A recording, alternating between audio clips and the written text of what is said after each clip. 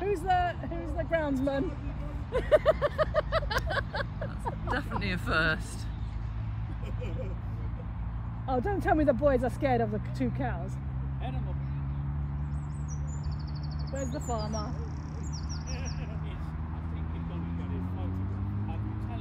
No.